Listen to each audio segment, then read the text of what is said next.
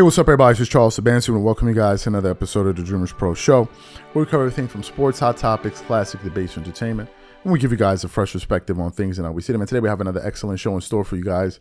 Uh, but before we get into it, please make sure you like the video and subscribe to the channel. So today we're going to be talking a little bit about some comments that Charles Barkley had to make about the NBA and the current state of affairs of the league.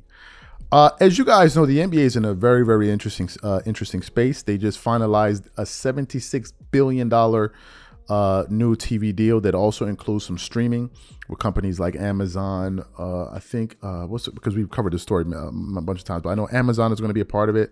Uh, uh, ESPN is going to be a part of it, and some other companies. We've covered this, but anyway, they they found a way to ink a pretty pretty lucrative deal. And what it looks like now is that every single night in the NBA, there are going to be some nationally televised games. Right, that's how they set it all up. So the NBA is definitely moving towards making more money. They definitely found a way to trip 3x their money from their previous deal, which were they were coming off of a 25 billion dollar deal. Now they're heading off into a 76 uh, billion dollar a deal with the network. So the NBA is definitely doing well, and based on the way, based on the numbers that they're producing from a financial standpoint, one would think that it's all well and fun, but apparently it's not. Uh, and one of those people uh, is one of the most vocal people in the NBA community, and that person is Charles Barkley. Now, if you know anything about Charles Barkley, he's never someone to bite his tongue about how he feels about a particular issue. Uh, it's one of the reasons he's had some various fallouts with players like Kevin Durant, LeBron James, Michael Jordan, who was his friend, uh, because of his candid views. But Charles is someone that uh, basically operates with the mindset of, look, I'm going to say what I think, and I'm going to say uh, and I'm not going to sit up here and lie to the audience for you because the minute you start doing that, you lose a lot of credibility. And unfortunately, there are a lot of people in sports media that have no credibility. They're on TV for sure, they're making the big bucks on TV, but the audience out here, most of us feel like they're compromised, that they're not really saying what they think. They're only saying that to get a bag, right? Charles Barkley is one of the few people that's been able to say what he thinks and still make the most money. Who would have figured being honest and being yourself could get you a long way? So, what happened was this morning I came across an article from fadeawayworld.net where Charles Barkley was essentially blasting the NBA for prioritizing profits over the game and NBA fans. So those are the comments that we really want to focus in on today. Before we even get into what Charles Barkley had to say, today's video is brought to you by sponsor, Game Time. Game Time is an authorized ticket marketplace of Major League Baseball, which makes getting tickets faster and easier. For example, I am super excited about the upcoming MLB games. With Game Time tickets, I can easily pick the best tickets for me. I love that I can choose between different deals. I have the option to select the cheaper deal the best option deal, or my favorite, the flash deal. The flash deal gives me the option to find discounts that I can only find on game time. Once I select the ticket I want, I can see view my seat.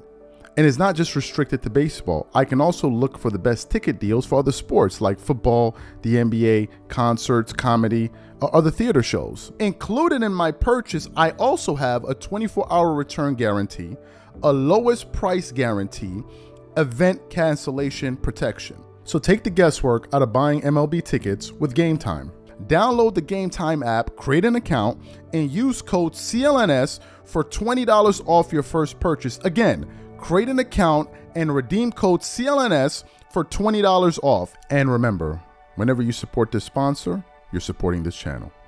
Thank you. So let's get into what uh, Charles Barkley had to say here. So the article starts off with the headline saying, Charles Barkley blasts the NBA for prioritizing money over the fans. Continues on. Charles Barkley didn't hold back on the NBA. While speaking to Tom Friend and the Sports Business Journal, Barkley mentioned he didn't like the league. He didn't like that the league chose to take more money to take the league primarily to streaming services and take it away from cable, thus affecting several fans. But he also noted that these deals are because players and coaches want to earn more money, so he isn't so he isn't surprised. Well, I think that, well, I think that you got greedy players and greedy owners. They really don't care about anything but how to make the most money possible. We should never put money above the regular fan.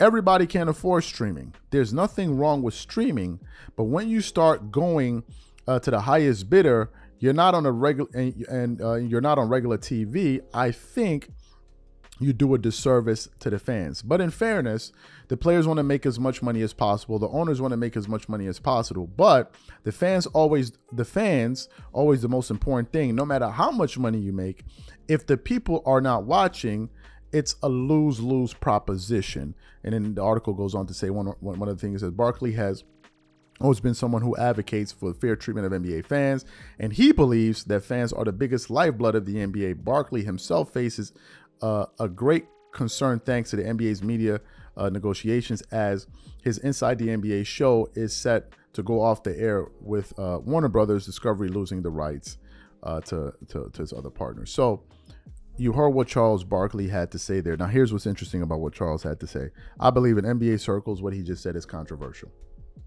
I know it's crazy, but it, it is. In NBA circles, what Charles Barkley just said is almost taboo. It is. In NBA circles, they'd be like, wait, wait, so hold on, hold on a second, Chuck. You want me to do what? You want us to take a little bit less money to prioritize the fans?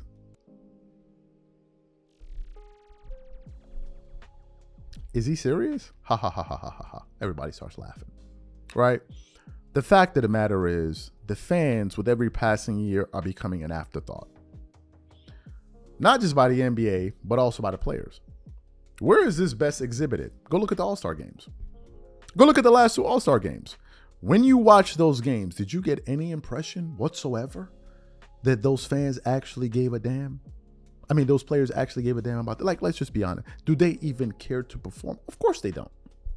But what they do know is that fans will still tune in, they'll still buy the jerseys, they'll still go to the games. They know that about y'all asses.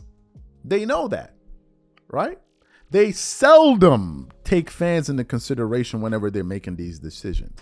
And to me, it's it's it's it's an incredible business model where you you you put absolutely zero value on your customers and somehow you make more money. As I said before at the beginning of the show, they found a way to 3x their revenue which is incredible. How the hell do you even do that? It's like you own a restaurant and you're like, you know what, man? I know we used to care about service and all of that, but let's just serve them their food. We don't even to say thank you, welcome, welcome to the store, nothing like that. And then somehow, some way, we're going to get three times the amount of people to walk in every day and patronize our, our, our food. And it works. It's unbelievable. I don't know how they did it. I don't know how they were able to pull it off, but damn it, they pulled it off. They absolutely pulled it off. And I don't I see this situation being irreversible. I see this situation being irreversible. I don't see it I don't see us double back and then finding a way to fix it. I think is over with. I think is over with. I think is the new norm. And I think that NBA fans are just going to have to accept it for what it is. All right? They're going to accept it. They're going to have to accept it for what it is because these people want to make money. Now, is there anything with is there anything wrong with making money? Absolutely not. I believe in everybody should make their money. Go make your money. But at a certain point, when your customers begin to suffer or when you start taking into account some of their complaints, then you have an issue, right? You have a serious issue. But for now, based on how I see things, I don't see any change in sight. There's not going to be any change. The NBA, I think after this next deal is going to be for 10 years, 76 billion. The next deal is probably going to be some astronomical number.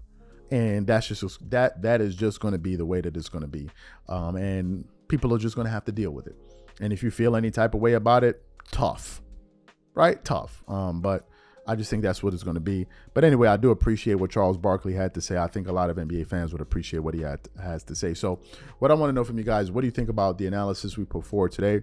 What do you think about what Charles Barkley had to say there? Do you think he's on point or he's uh, you know off base? Whatever you guys think, please leave your thoughts and comments in the comment section. We catch you guys on the next show. Peace.